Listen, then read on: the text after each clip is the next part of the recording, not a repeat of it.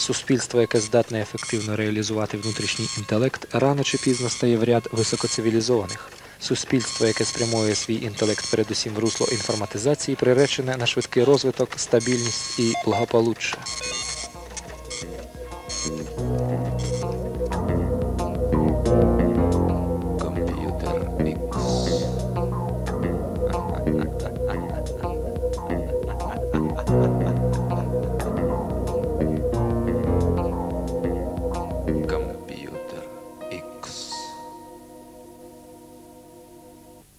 Вітаю вас! Знову в ефірі програма Комп'ютер X та її ведучий Руслан Дениченко. Сьогодні у випуску. Втім, в 11 попередніх випусках нашої програми було дуже багато інформаційних сюжетів. Сьогодні в ефірі 12-й випуск програми. І напередодні нового року ця цифра виглядає магічно. 12 година, 12 місяців, час робити якісь узагальнення і висновки. Знову ж таки спробуємо зробити їх і ми. Поговоримо про інформацію і інформатику.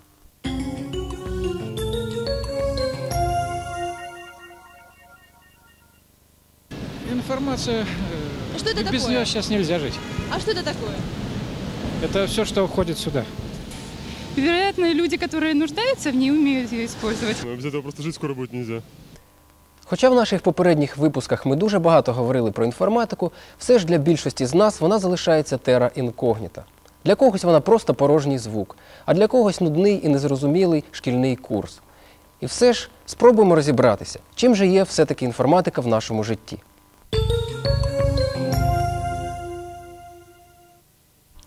Результати нашого невеликого опитування підтвердили, що більшість людей слабо уявляє, чим займається інформатика, не кажучи вже про те, щоб дати її наукове визначення. Втім, не турбуйтеся. Навіть маститі науковці ще не знайшли спільної відповіді на це запитання, не кажучи вже про нас, простих смертних. Сторонній людині на перший погляд може навіть здатися, що фахівці з різних напрямків цієї науки займаються перетягуванням ковдри, прагнучи представити інформатику саме своєю. Так, спеціалісти з обчислюваної техніки визначають її як дисципліну, що займається розробкою комп'ютерів та програмного забезпечення. Фахівці з інформації вважають, що це наукова дисципліна, яка вивчає структуру та властивості наукової інформації. Інші ж, намагаючись об'єднати ці дві точки зору, стверджують, що предметом інформатики є той процес, в результаті якого інформація переходить від джерела до споживача. В документах ЮНЕСКО термін інформатика визначається більш широко і охоплює власне саму інформацію, її збір, аналіз, обробку, а також засоби для її обробки. Як бачимо, все досить заплутано. Але незважаючи на те, що єдиного визначення інформатики не існує, і навряд чи воно буде знайдено у найближчому майбутньому, хіба що після янного бокалу новорічного шампанського хтось вигукне Евріка і видасть геніальну думку, незаперечним залишається факт, що хай і не визначена, поки що інформатика займає провідне місце в сучасній науці і техніці. Ще 100 років тому практично все працездатне населення планети займалось матеріальним виробництвом. Зараз, за даними того ж ЮНЕСКО, більше половини працюючого населення розвинутих країн бере безпосередню участь у виробництві та офіційному поширенні інформації. Неофіційно, як розумієте, ми її поширюємо всі. А в цілій низці держав до 50% національного продукту пов'язано з інформаційною діяльністю суспільства. Так що інформація перетворилася у найважливіший ресурс суспільства, а інформатизація стає однією з найвизначніших сторін сучасного життя. Простий перелік сфер застосування інформатики забрав би у нас добру половину передачі. Вже сьогодні без неї не можуть обійтися ні наука, ні виробництво, ні державне управління, ні оборона.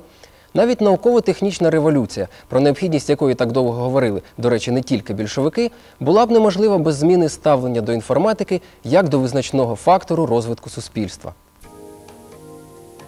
Автоматизація виробництва, завдяки якій з'явилась можливість в десятки разів підвищити продуктивність праці, ґрунтується на інформаційних технологіях.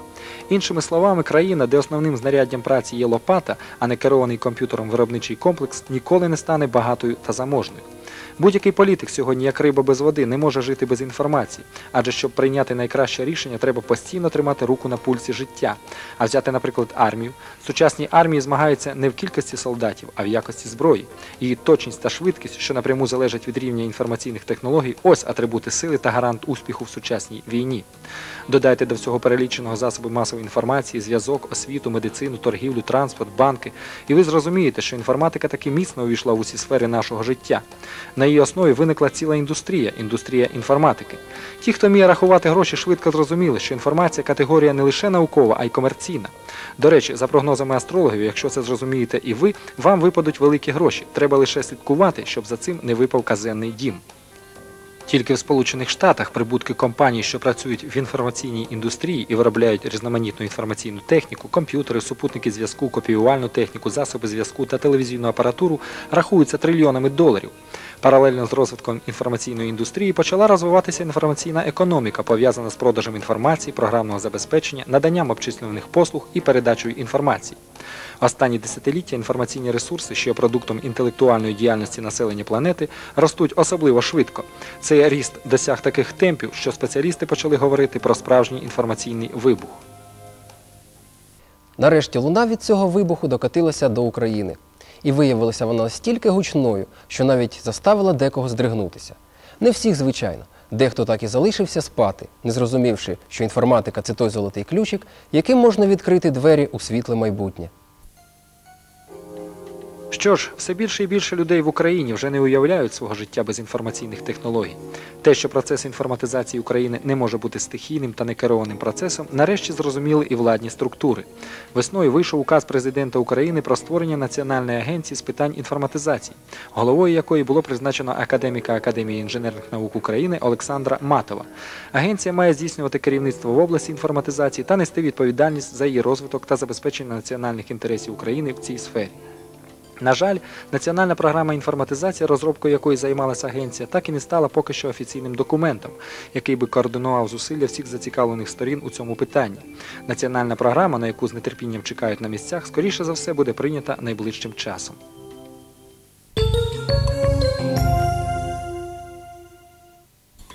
За минулий рік в Україні відбулось близько півтора десятка комп'ютерних виставок. Їх надмірно велика кількість, яка не завжди переходила у відповідну якість, змусила китів українського комп'ютерного бізнесу створити комп'ютерний клуб та звернутися з відповідною заявою до організаторів експозиції. В ній було висловлено пропозицію створити в Україні єдину представницьку загальнонаціональну виставку, як Цебіт у Німеччині або Комдекс у Сполучених Штатах, яка б відповідала найвибагливішим вимогам. Важко сказати, чи з'явиться врешті-решт така експозиція в Україні, але створення та діяльність комп'ютерного клубу стали причиною підвищення конкуренції серед фірм-організаторів виставок.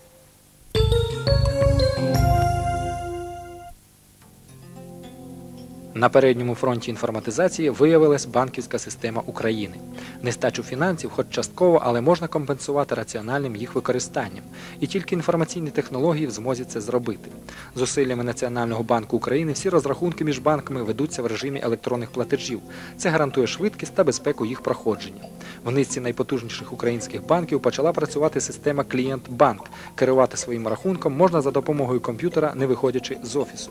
Спільними діями 16 українських банків створене акціонерне товариство Укркарт, яке розпочало розробку проекту національної системи безготівкових розрахунків за допомогою пластикових карток.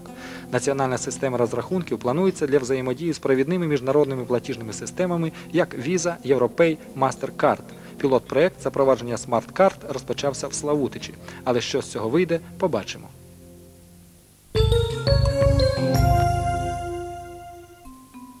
Інформатика докотилася і до податкової служби України. Розроблена і вже почала діяти програма створення державного реєстру фізичних осіб платників податків та інших обов'язкових платежів.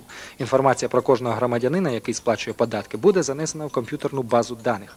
Відтепер вся рутинна робота по їх обробці буде виконуватись не вручну, як це було раніше, а електронними обчислювальними машинами.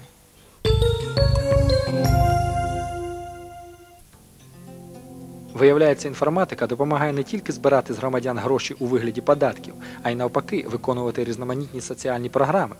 В одній з передач ми розповідали, як інформатика допомогла організувати видачу житлових субсидій для малозабезпечених у Алчевську Луганської області. Раціональний підхід до вирішення цього питання та застосування інформаційних технологій дозволили місцевим службам соціального забезпечення видати субсидії людям, що мали на них право у декілька разів більше, ніж у сусідніх областях, причому без черг та зайвих нервів.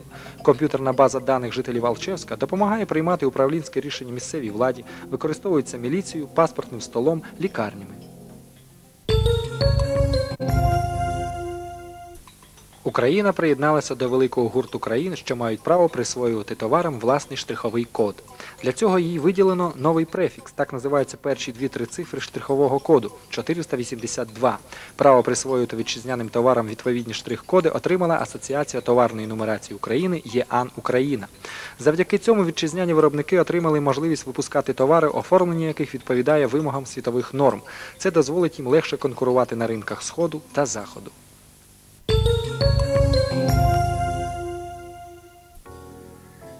Що ж, за останні роки світ, використовуючи комп'ютерні супутникові системи, мережі передачі даних, поступово перетворився у глобальну інформаційну систему. Феномен інформації став предметом наукового вивчення. Виникла ціла наука про інформацію, що вивчає її властивості, методи управління інформаційними потоками та їх використання, а також методи обробки інформації з метою її оптимального зберігання, пошуку та поширення. Сподіваюсь, ми вас нарешті переконали, що без інформатики життя неможливо. Пам'ятаєте, як писав відомий поет? Да будь я и негром преклонных годов, і то без уныния і лені, я інформатику б вивчив тільки за то. Втім, може він це писав зовсім не про інформатику. Але як би там не було, до інформатики треба ставитися більш серйозно. Информация нужна человеку, иначе человек не будет отличаться. Інформація це деньги. Тот, кто не сможет с этим, с этим- с этим работать, он будет сидеть ну, в лесу, я не знаю, где еще. Если человек живет, он должен получать определенную информацию, причем о всем. Это будет, будет влиять на его развитие духовное и интеллектуальное. На невеликій і ще досі блакитній планеті Земля, що, здається, справді таки загубилася у просторі космосу, час від часу все ж відбувається диво. Приходить у світ маленька людина. Вона приходить ще не розуміючи, що сама собою являє, і що таке життя, і як в ньому треба жити. Піднімаючи очі до неба, простягаючи руки до сонця, Маленька, а потім і велика людина запитують, що потрібно знати, аби бути щасливим. Тільки відповіді на це запитання, на жаль, не отримав ще ніхто. І, здається, у вік біганини, сутолоки, суєти бути щасливим практично неможливо. Але жити треба. І не просто крутитися, як білка в колесі буденності, а орієнтуватися в цьому житті, намагатися встигати за ним.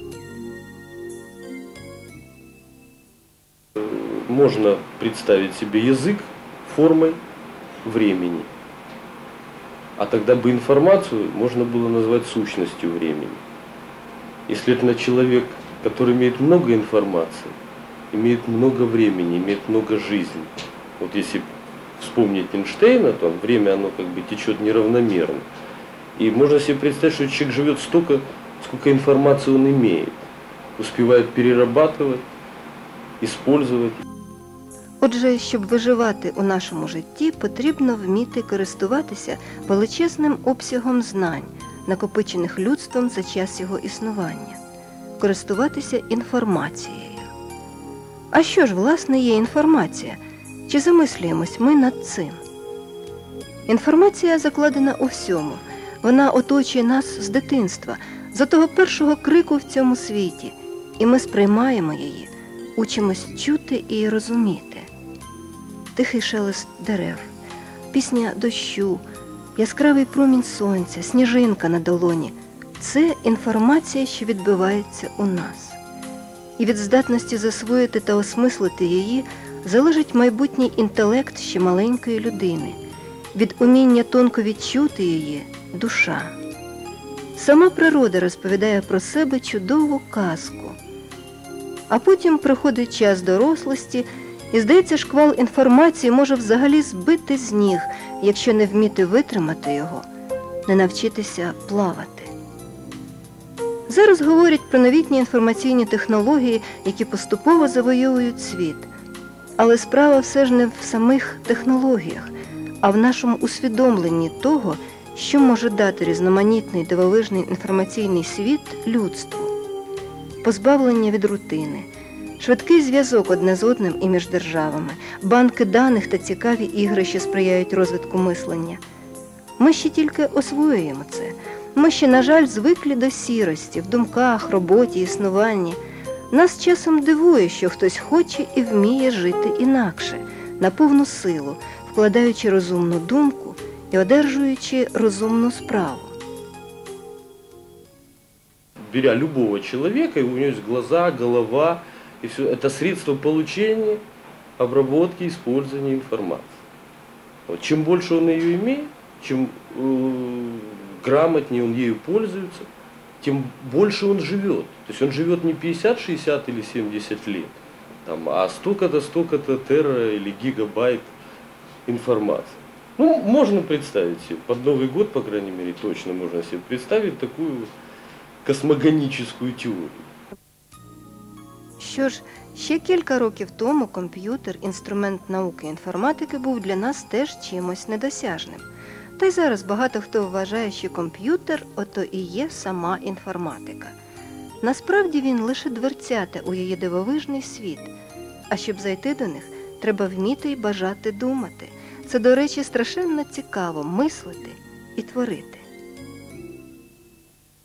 Номер пять. Ну-ка посмотри, что ты думаешь про это? Ну, это какие-то приправы, растения, овощи, соль, томатный сок. А, спасибо. В таком случае ты просто робот. И к тому же сходство. Это выглядит как птица. Птица, которая летит. Час від часу відбувається велике диво, і приходить у світ Маленька людина.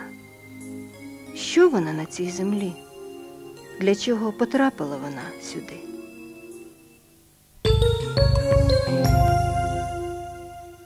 Для чого людина приходить у світ? У перші роки свого життя для того, щоб навчитись гратись і через гру пізнавати світ. З появою комп'ютерних ігор дорослі ще раз довели, що на все життя в душі в них залишається дитинство. Напередодні Нового року, напевно, люди бажають чогось несподіваного, новорічного.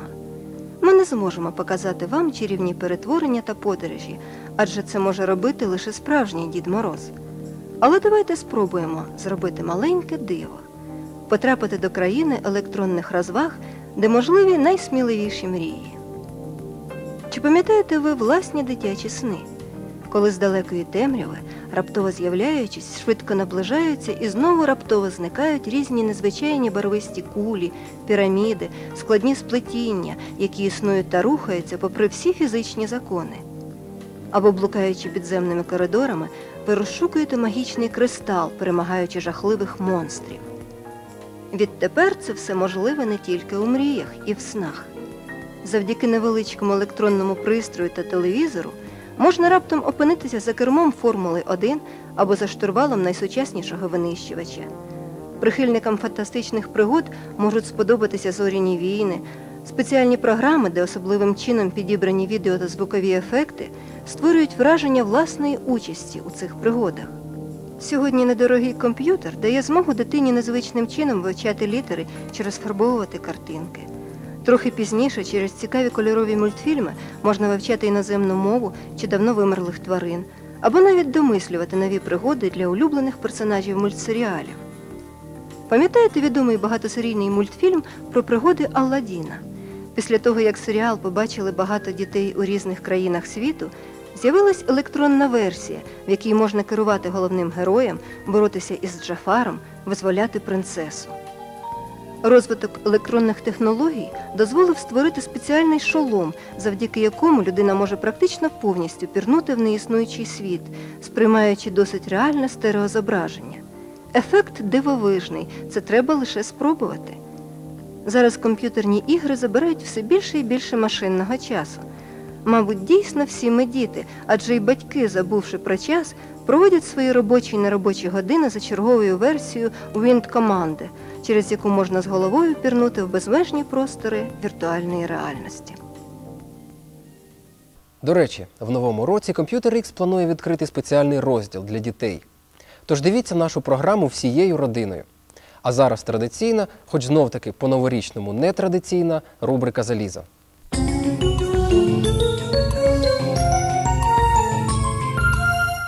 Комп'ютерний ринок складається з двох головних частин саме комп'ютерів та фахівців, які їх створюють та виробляють. Але напередодні нового року, в черговому випуску рубрики Залізо, ми вирішили вам розповісти не про конкретні різновиди апаратного забезпечення, а про людей, які це залізо створюють. Тож знайомтесь ближче.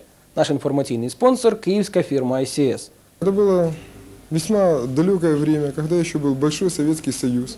Была довольно интересная команда единомышленников. Э, Все ребята занимались электроникой. Все, в общем-то, хотели работать именно в той области, которая сейчас называется High Technology. Тогда это называлось просто интересные новые разработки, которые- то, что никто не делает, кроме них. Постепенно фирма, в общем-то, трансформировалась. Мы начали работать в других секторах рынка. Это э, персональные компьютеры, графические станции, серверы, сетевое об- обеспечение предприятия. В общем-то, эта история насчитывает уже шестой год. Да, я считаю, что на ферме команда. Э, Значит, команда, во-первых, по большому счету, э, а во-вторых, по тому графику работы, в котором мы работаем, нужно быть уверенным, что люди тебя не подведут. То есть позже остаться, выйти в какое-то время. И м, компьютеры наши, наши сети стоят уже во многих городах Украины.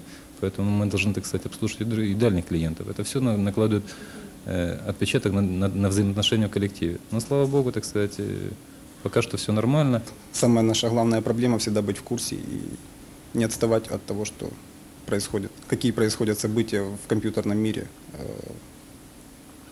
Поэтому в этом году, вернее, в новом году, э, вероятно, будет новая головная боль с какими-нибудь новыми разработками. да. Я ожидаю, что и прогнозирую, и надеюсь, и практически уверен, будет рост нашего, так сказать, уровня. Мы будем выдвигаться на какие-то более высокие места в нашем рынке компьютерном. И надеюсь, что в конце концов мы завоюем одно из первых мест на Украине в производстве компьютера и подобного ему оборудования. Я поздравляю всех наших телезрителей с Новым годом, с, с, э, наступающим 96-м годом. Желаю счастья, здоровья и компьютер в каждый дом. Я приєднуюсь до побажань Михайла і поздоровляю всіх телеглядачів. З Новим роком!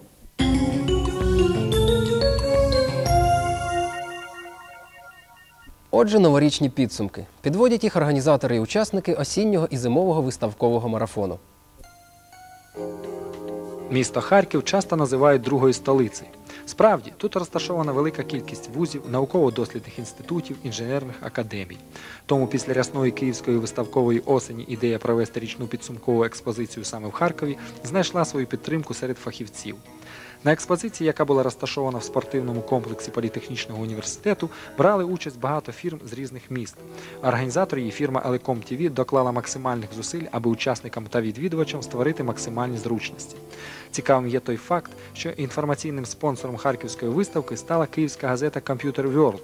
На стендах було представлено багато сучасних апаратно-мережевих рішень на різних платформах. Але порівняно з іншими експозиціями на комп'ютері Year 95 досить мало були представлені фірми-виробники програмного забезпечення. Отже, комп'ютерний рік майже скінчився. На жаль, це був рік заліза, і на численних експозиціях переважали апаратні засоби. Схоже, час підтверджує думку, що без належної підтримки в наших економічних умовах софтверним фірмам просто не вижити.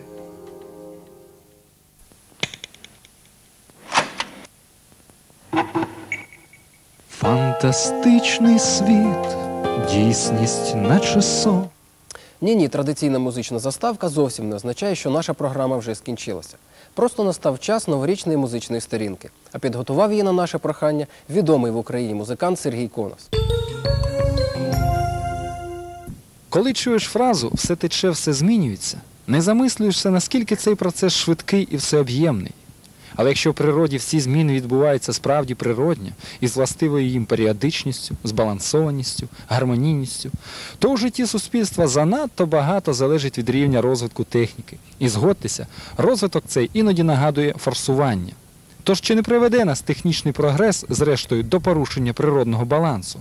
Особливо гостро ця проблема відчувається у такій сфері, як мистецтво, наприклад, музика. У Київському палаці культури Україна готувались до заключного концерту лауреатів та гостей хіт-параду 12-2. Будували сценічні декорації, монтувалася апаратура, програмувався гігантський телевізійний монітор, на екрані якого ось-ось повинні були з'явитись винуватці цього заходу, виконавці. Тобто все було звично і невимушено, хоча раніше все було не так. Раніше ми писали все на, на столах. Музиканти працювали разом, разом придумали якісь аранжування. Е, Зараз я особисто працюю по такому циклу. Я одразу сам створюю в комп'ютері будь-яку річ, а потім роздаю ноти артистам, музикантам. І на концерти просто наймаю людей, які значить, в цей час вільні. Сьогодні всі сучасні композитори, і симфонічні, і хорові дуже часто використовують комп'ютер. Дуже часто. Це як, як скарбниця, яка, ну, як, як, не знаю, там воно написав, запам'ятав, він тримає.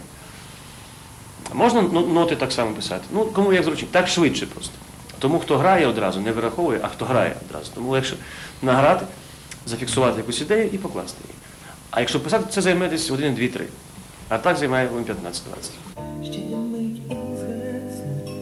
Отже, переваги комп'ютерних технологій у цьому напрямку очевидні. Судіть самі, різноманітні музичні станції, звукові процесори, семплери, модулі все це невід'ємний атрибут сучасного композитора, звукорежисера чи просто музиканта.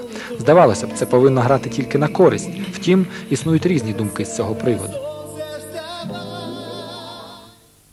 К компьютеру у меня двоякое совершенно отношение. С одной стороны, я прекрасно понимаю, что ну, прогресс, то есть человечество развивается, сейчас без компьютера, то есть шагу невозможно ступить. Во-вторых, я совершенно четко отдаю себе, то есть сказать, отчет в том, что компьютер это погибель человечества как такового, то есть э, неминуемо. То есть э, чем дальше будет развиваться компьютерная технология, тем немину- более неминуемо станет, собственно говоря, конец э, цивилизации, в общем-то, человечества как такового.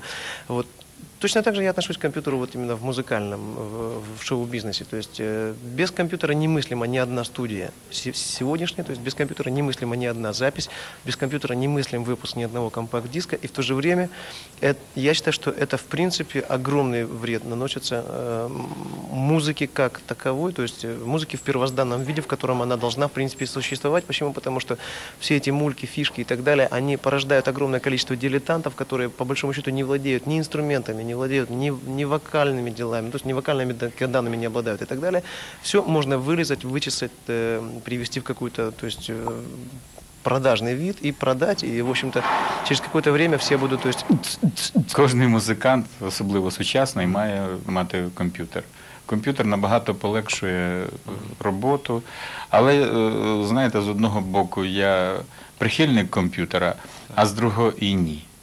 Е, Все-таки жива музика має бути, бо комп'ютер є комп'ютер. Ми живі люди, але без комп'ютера сучасна музика неможлива. Можливо, але це будемо казати набагато важче. Тобто, я можу сказати так, що сучасна музика, сучасна, якщо ця музика е, записується на щось, вона неможлива без комп'ютера. Я вважаю так. Якісна музика. Звичайно, концертна, жива. Е, музика, вона, в принципі, може, е, якщо це камерні якісь виконання, де можна взагалі грати акустичним варіантом, не підзвучуючи. А навіть якщо це вже великий зал і грається живий симфонічний оркестр, його мають підзвучити якісно, обробити. А вибачте, модулі, якими обробляють, чи будь-то компресор, чи якийсь ревербератор, це так само я вважаю, є комп'ютер. Що ж, при всіх за і проти компроміс потрібно шукати, бо можливо тільки в розумному поєднанні сучасної техніки та творчої фантазії і знаходиться ключ, який відкриє нам потаємні двері у світ мистецтва. Купуйте комп'ютери. Вони скорочують час написання музики. І дедалі все більше і більше охоплюють е, нашу країну. Це, це нормально, це правильно. Можна писати будь-як музику, але з комп'ютером простіше, легше, швидше. Комп'ютер це дуже важлива річ, товариші. Музыканты, владейте инструментами. Компьютер – это всего лишь примочка к, э, к мастерству настоящего нормального музыканта. Все остальное это, это, это искусственное, это уже надстройка. Ну, я хочу передати е, всім тим, хто е, люблять комп'ютер, любіть його ще більше, використовувати як можна правильніше. І дай вам, дай вам Бог щастя і здоров'я в новому році. Творча група програми Computer X приєднується до всіх новорічних вітань. З свого боку, ми б хотіли побажати, щоб ви завжди мали вичерпну і правдиву інформацію. І нехай вона, не дивлячись на всі негаразди нашого життя, буде тільки приємною. З Новим роком!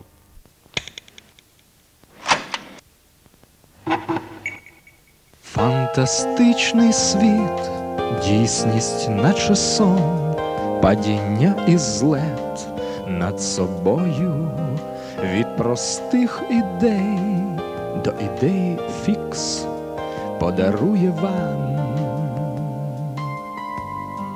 комп'ютер X.